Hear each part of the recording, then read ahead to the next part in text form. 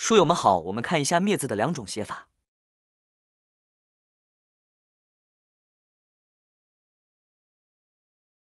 破灭的“灭”字，第一种写法，两点水。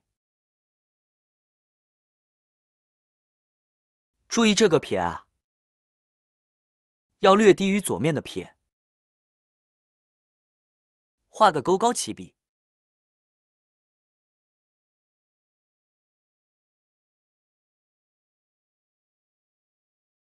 这个撇的最重的指向要注意，不要在这个 miss 的点的下面。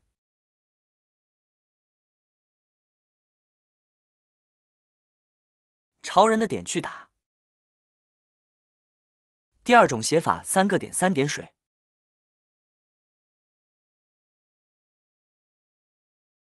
注意横画的起笔位置啊。第一个点最高，其余的都一样。我用的笔是渲染笔状的映山红，